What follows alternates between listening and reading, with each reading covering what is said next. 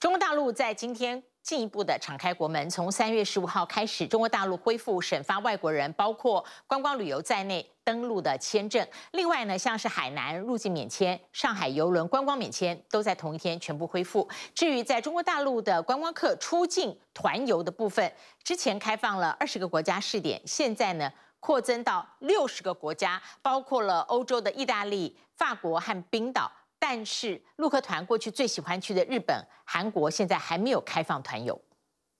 接到一个电话，美籍华人，然后要回国，呃，商务，所以他们要办那个签证。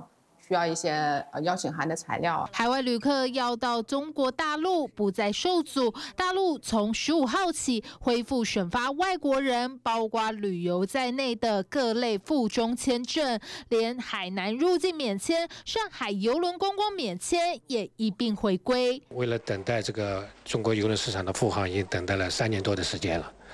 那么，这个国际邮轮免签这个消息呢？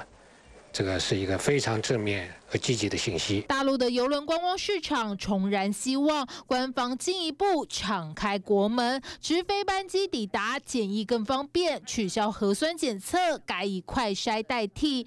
除了入境规定松绑，陆客出境团游国家宣布扩增，从原先二十个增加到总共六十个，这回越南、意大利、法国和冰岛等都入列。中国是沙特开放电子签证的国家之一。如果游客搭乘沙特阿拉伯航空的航班抵达沙特，可获得九十六小时过境签证和一晚免费的酒店住宿。想抢陆客团游这块大饼，沙地阿拉伯官方还特地到北京办推广活动。大陆境内旅行社在前一波二十个国家开放时，就感觉生意明显回暖，如今更加热烈。携程数据，部分国家搜索量还在一天之内暴增三。倍，我都很高兴了，因为没没出三年了，我就马上报名，报名了要跟我的爱人、我的女儿三个人一起去了。中国旅游研究院预估，今年大陆出入境旅游游客人数有望超过九千万人次，年增一倍。不过现阶段扩增到的六十个国家内，却还不包括疫情前陆客团最多的日本、韩国。关于具体的国别，请你关注主管部门发布的信息。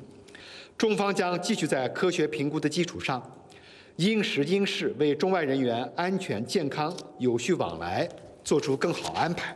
大陆放宽防疫规定，按自己的步调走。在校园方面，公布最新第七版防疫方案，师生在校期间免戴口罩。如果有学生确诊、密切接触的师生，则连续五天戴口罩就好。学校在非疫情流行期间，不能采取封校管理。我们在咳嗽、打喷嚏的时候，保持一个卫生礼仪。呃，另外一个呢，就是呃，我们的孩子呢，还是要。尽量的多喝水。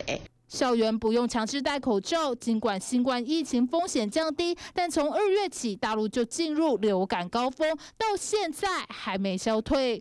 这个流感，呃，感觉比。这个去年的这个新冠还要严重一些。其实我我家两个孩子已经有一个已经得了，一经。呃，流感好像烧的比较严重，烧到四周都。大人还还好，啊，我们倒是没什么问题，就小孩儿好像比较严重一些。北京儿科医院依旧不少家长抱着孩子求诊。中国疾控中心数据，从二月二十七号到三月五号，接获七百二十起流感病例爆发疫情报告，较上一个星期多近百分之八十五，感染率。更从二月初不到百分之一，提升到百分之四十一点六。很多人呢，三年没有感染，那么再次感染就容易变重。